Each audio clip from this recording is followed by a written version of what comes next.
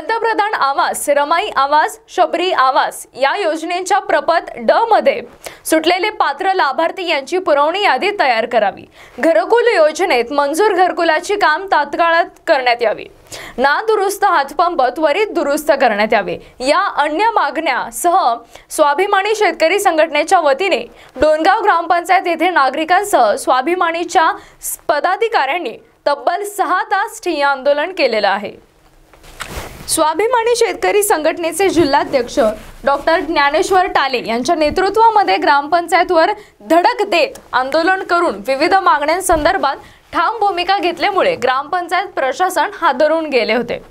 संबंधित वरिष्ठ प्रशासनासोबत दूरध्वनीवर चर्चा केली असता पंचायत समिती स्तरावरून विस्तार अधिकारी ग्रामपंचायत श्री सोनने व विस्तार अधिकारी श्री पंडागळे हे आंदोलनस्थळी दाखल झाले. व आंदोलनकर्त्यांशी विविध विषयावर चर्चा करण्यात आली. त्यांनी केलेल्या मागण्या मंजूर करत आजच याबाबत तातडीने पत्र काढून खाते स्वाक्षरी मंजुरीसाठी सुद्धा आमच्या स्तरावरून आदेश देण्यात येतील असे आश्वासन दिले आहे. यावेळी स्वाभिमानी शेतकरी संघटनेचे पदाधिकारी कार्यकर्ते व नागरिक उपस्थित होते.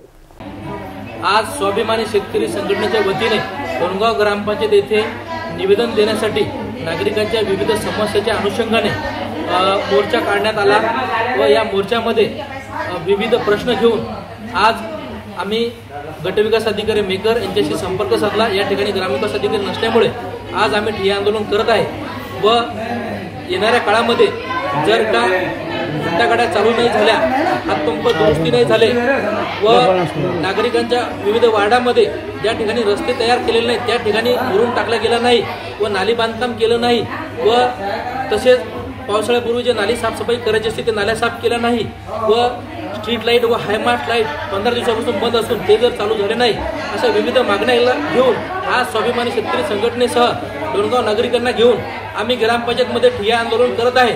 व येणाऱ्या आठ दिवसामध्ये या समस्या मार्गी न लागल्यास आम्ही सर्व जिल्ह्याच्या वरिष्ठ अधिकाऱ्यांना अधिकाऱ्यांना सुद्धा निवेदन देण्यात आलेलं आहे की येणाऱ्या काळामध्ये शांततेच्या मार्गाने स्वाभिमानी शेतकरी संघटनेचा मोर्चा राहणार नाही व याला सर्वस्वी जबाबदार संबंधित प्रशासन असेल. ह्या जोपर्यंत नागरिकांच्या समस्या सुटणार नाहीत तोपर्यंत स्वा स्वाभिमानी शेतकरी संघटना व आमच्यासोबत आलेले सर्व नागरिक हे स्वस्त बसणार नाहीत. आता काय मागं होता. सगळे नाराज ना स्वाभिमानी शेतकरी संघटनेचा. म्हणते सुटणार